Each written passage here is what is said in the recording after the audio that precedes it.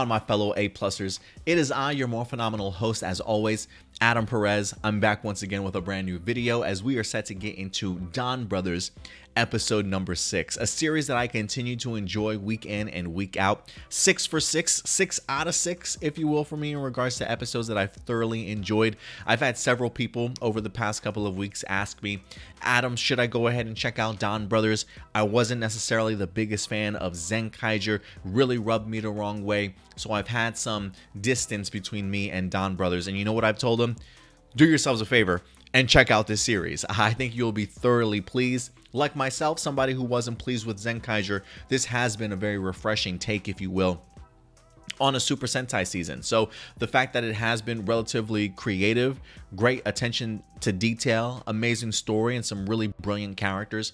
I've definitely have been recommending and suggesting this to everybody that I've certainly known, especially if they felt some type of way about Zenkaiger. And episode six um, doesn't disappoint whatsoever, man. Um, I love the the partnering of characters in here the um, seeing Kiji brother opposite Momotaro in here really worked for me. I definitely have a lot more questions than I think I got answers, but I am thankful that I wind up getting answers in here. But I do enjoy the mystery aspect of it and seeing it slowly unravel as the season progresses.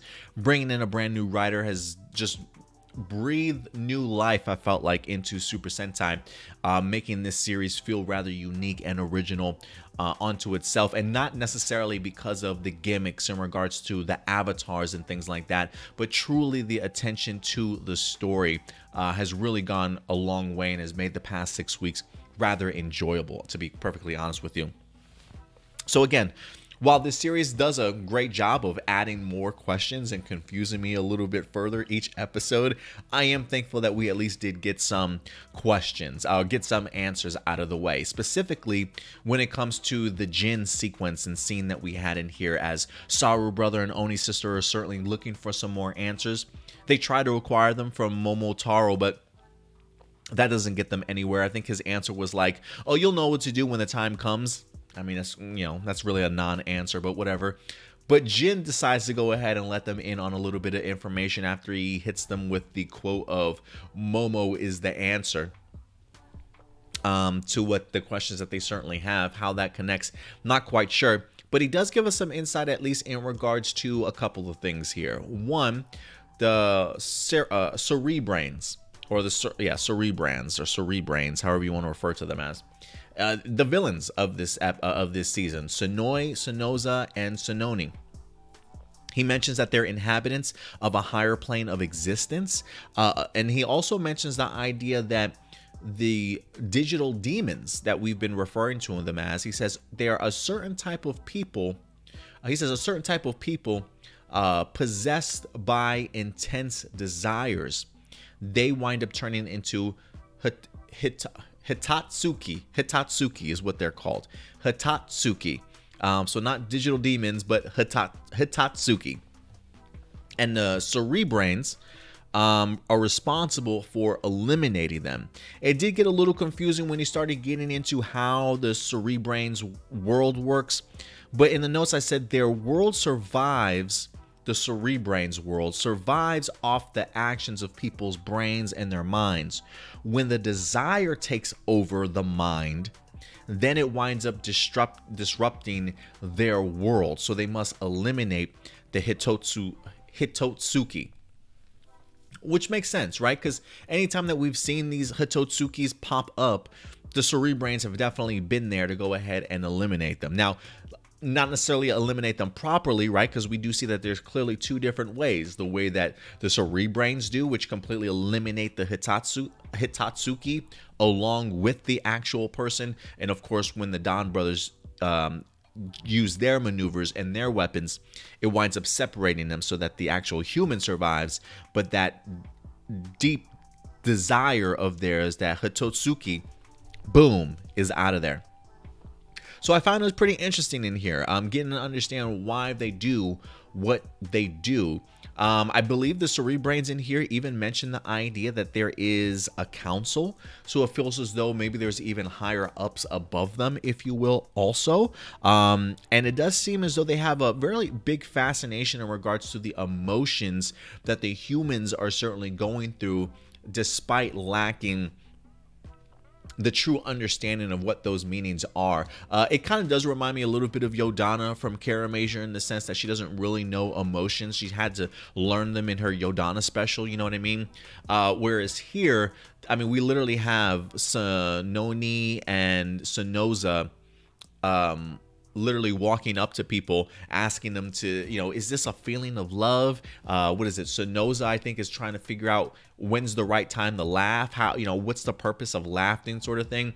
Uh, and get, even get an opportunity to see him have a great battle with um, uh, Momotaro in here was great, uh, especially considering the fact that Don Momotaro loves to laugh himself definitely got himself a little bit of a laughing lesson uh, in that ass kicking that he wind up getting in this episode. But it is fascinating to me to see the lack of emotion the stoicness of their faces, the lack of emotion on a lot of their faces, to be honest with you, um, and their knowledge to want to learn how to utilize it. Um, and I think the idea too going back to the previous episode and in this one too when we see the paintings and one of the questions like i had was i was trying to figure out what's the references to the paintings and i think it's because of the fact that and I think he might have mentioned it in here that maybe it is an expression of feelings and emotions and things like that.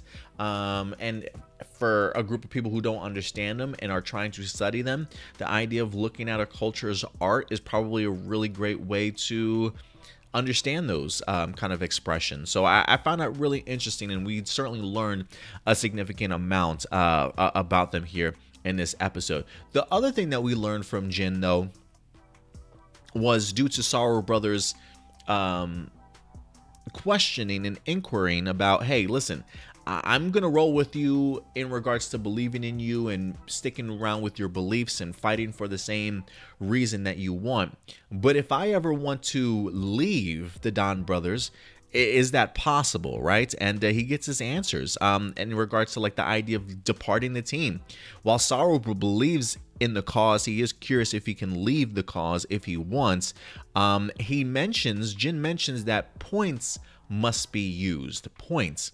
You can use it to leave the don brothers or you can use it to have any wish that you want which I find interesting. But he does say if you use the points, um, if you use them poorly, it will add to your misfortune. So you can use the points however you want to, but if you use them poorly, you will deal with the ramifications and the misfortune of them. And we got a perfect example of that when it comes to Kiji brother. Now, Jin also mentions in here because it I wasn't the only one that was super confused because apparently Oni's sister asks the same question, right? About the points. What are these points? How do these points work? And what does Jin say? Speak to the administrator or speak to the admin in regards to that. And before he can say anything, he whisked them back to where they certainly were. If I have to, if I'm a betting man, if I have to make a prediction right now, I think Kaido is that admin. And I only say that because he clearly seems to know about the points, right? He references the points to Kiji Brother in the beginning of this episode, and he also does so towards um, the very end, if you will, also, right? And in my notes, I says, what the are these points? And why does he have a chart showing points? Acquired. And that's exactly what we see with Kaido towards the end as he's looking at, he's got like a chart, a graph of all the um, Don Brothers up there, all the points that they've certainly acquired for themselves. And he does reference the idea that Kiji Brother has lost some of his, that his points have in fact lowered which would clearly show you, yes, Kiji Brother in fact did use points for this particular episode to try and impress his woman, and unfortunately, misfortune certainly followed him wherever he went after that. So interesting take. Uh, how Kaido knows about the points again. That's the one thing that we talked about, right? Kaido comes across like he knows what's going on. Like he already knows these people and understands the purpose and reasoning why these people have to meet and bump into each other in the first place, right? So the fact that he's keeping a chart and understanding all this, I definitely think he's the admin that Jin was certainly referring to in here. And the plot thickens in regards to Kaido's full involvement. So um, bring it on, man. Bring it on.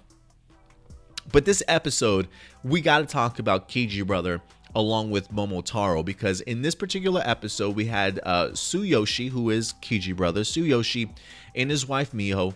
Um, getting ready for an award ceremony, award ceremony where Miho was uh, set to go ahead and be honored. But very last minute after they've gotten their ride there, he decides against going inside because of his own insecurities are kind of getting the best of him, thinking that his woman is so beautiful and so above him that he's almost an embarrassment to her if he's caught dead with her, if people start kind of seeing him. You know what I mean? So he's very much on this belief that she is too good for him and he's pretty much just sort of an embarrassment. And I got to be honest with you, I did roll my eyes a little bit because I thought to myself, I was like, well, man, she clearly married you for a reason, right? Like, she clearly sees something in you that she loves and she adores and she absolutely needs to have in her life in order for her to say yes. But the fact that he doesn't have any confidence in himself whatsoever, look, you don't need to give her a reason to doubt you or to cause her to leave because trust me when I say no confidence in yourself is a big sort of non-attractive trait when it comes to a woman, right? They do love a guy who certainly has some levels of confidence about themselves, but uh, the, the, the the limits in which um, Tsuyoshi is certainly putting him down, um, definitely not warranted uh, in regards to somebody who clearly doesn't believe in himself or doesn't believe he's good enough for the woman that he wind up marrying. Now, I did love the little joke towards the end of the episode when you know Miho was kind of happy that he no longer took his promotional job because it was making him a bit of a dick. Um, but I love the fact that she says, "I, I kind of like when you fail. like I kind of like when I'm a little bit above you or you're a little bit below me, sort of thing. Because uh, you, you act like a completely different person when you've got all that power. Certainly a little bit of a jab."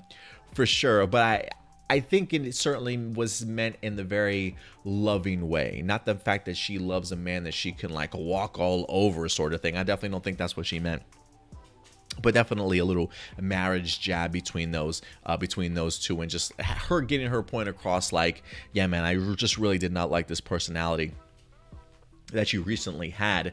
Um, how Kiji Brother even activated the points, that I don't know. Do you just wish upon a star that you get good fortune and all of a sudden things happen to you and you deplete your points? Um, is there like a little magical lamp that you rub? Do you rub your avatar or your avatar changer and you get to make some wishes? I have no idea how the point system works, but I am interested to kind of see um, if they even showcase how Kiji brother tapped into the that uh, fortune that he certainly needed and it's just like night and day in regards to their personalities. Um, getting to see him belittle Momotaro in here, talking about the idea of him being a delivery man, kind of being below him and whatnot. I love the fact that Momotaro just like pushes back against him, if you will, calling him. I think he even references the idea that he was weak, if I'm not mistaken. I think he looks at him and mentions the idea like, you've gotten weaker since the last time I've seen you. Uh, and in my notes, I put, ouch. Um, really showcasing you that at the end of the day, Momotaro is going to always continue to be truthful. And considering the fact that he knows that this isn't Tsuyoshi, uh, yeah, I can understand the point of him mentioning the fact that he's getting uh, a little bit weaker. But his misfortune definitely does catch up to him, despite the limo, the pay raise, the job promotion. He really started pe- treating people like shit, honestly. Uh, and unfortunately, his wife, something happens to his wife, and he winds up going into the hospital. They don't really clarify what happened to her just as she kind of passes out i thought she fell into a coma or something like that for a minute but um uh, it looked pretty terrible at first but she eventually comes around the moment that um you know, Kiji Brothers' bad fortune winds up sort of running out, if you will. But I did love the moment that we wind up getting between him and Momotaro in here. The fact that he wants to try and challenge Momotaro to show that he's better than him, really trying to do everything that he can to try and impress his woman when at the end of the day, that's really what not what she wants whatsoever. I do find it interesting that we got ourselves three different variations of wrestling matches between them. Uh, if I'm not mistaken, I believe we got an arm wrestling match, a sumo wrestling match, and even a thumb wrestling match. And why Kiji Brothers sheds more clothing each time of an event. Like, why Homeboy is even shirtless in a thumb wrestling match? I've got no idea why, but I think it's absolutely hilarious uh, in the way that um, it wind up sort of taking place. But um, it, it really worked for me. The the the Momotaro stuff and the Kiji Brothers stuff, especially when Momotaro sense you know makes that comment of you and I are very much sort of both alike, you know. Um, I love his comparisons where I believe he said Kiji Brothers said that um, he wasn't good at anything, so therefore he was problem. I can't remember how he explained it. Like Momo said he was good at everything, and yet he was probably bad at this or something along those lines where it really lined up between him uh, along with Kiji brother. Um, but even seeing somebody like Mo- Momotaro admit defeat that Kiji brother won because of the fact that he could never make a, a woman smile the way that he does. I am kind of curious as to what that means. I am kind of curious if it's a sense of, you know, um, because of his misfortune or his his good fortune being too good, he can never see like that side of a person. Um, does he just not have interest in women? Is that like a little bit of a clue into the inside of, you know, his uh, his particular lifestyle sort of thing? I, look, I just think Momotaro was such a loner that his good fortune just really doesn't allow him to get close to truly anybody the way that he probably would like to, right? He, homeboy doesn't have an idea of how to be happy. So to be able to have another like woman in your life that gets you and to kind of get those, you know, those mutual connections and feelings, um, that's probably a really sad realization for somebody, man. I mean, I feel like the more and more I see Momotaro, there is a, a heaviness that I get on my heart for just the experiences that he's had or the lack thereof of experiences sort of in his life. And you can kind of see how those experiences have really shaped him to be sort of somebody that doesn't really express emotion so well or connect, right? I think even Saru Brother and Oni Sister point out in this episode, like, you really need to understand people and how to talk to people better in that sense. And I think that's definitely one of his downfalls for having such good fortune. That uh, too much of a good thing can be a curse upon itself and be a bad thing, right? We definitely have heard that before, and it feels very much like in Momotaro's case. Um, that's very much more a, a, reality, if you will, right? So, you know, the idea of having somebody like Kiji Brother who feels like he doesn't have everything, but in reality, he really does. Uh, it is that lack of self self confidence and that doubt in himself that um, you know it's it's good to be able to see maybe Kiji brother hopefully overcome that type of thing in the past or in the future. But I do like um, um just how the similarities between Kiji brother along with Momotaro definitely got pointed out in this particular week's episode. But um, overall, guys, yeah, I really enjoyed it. The Kiji brother Momotaro stuff really worked for me. Um, I, I'm still fascinated to see how Inu brother, how his wife and Kiji brother's wife may or may not be the same person. One of the things that I mentioned and I asked somebody in one of the live viewer questions, or I talked about last time, was that when it comes to um, Miho along with uh, Tsuyoshi, I believe they've only been married like three or four months, right? But Inu brother did mention he was married like a year ago. These two women clearly have two different names, but they look alike. I didn't catch that they looked alike at first until I went back and rewatched it again, and everybody really pointed it out. So I, I do wonder if I do wonder if something happened between her and Inu brother a year ago. I think he said they they still have her. Um, I do wonder who he's referring to, if he's referring to the police or not, because I, I do wonder if they were married a year ago, that time period in between then and the Kiji brother marriage, I wonder if they put Homegirl in like protective custody or something, you know, changed her identity. Maybe they thought that he was like too much of a fugitive, so they wanted to protect her. I have no idea. Um, and maybe she changed her name and got remarried. I, who certainly knows the story behind it, but I am interested to kind of see it all unravel and eventually get told to us. But uh, I'm loving what I'm seeing, guys. The action was great in here. One more time, we did get some Zyuohger inspired enemies along with um, changes.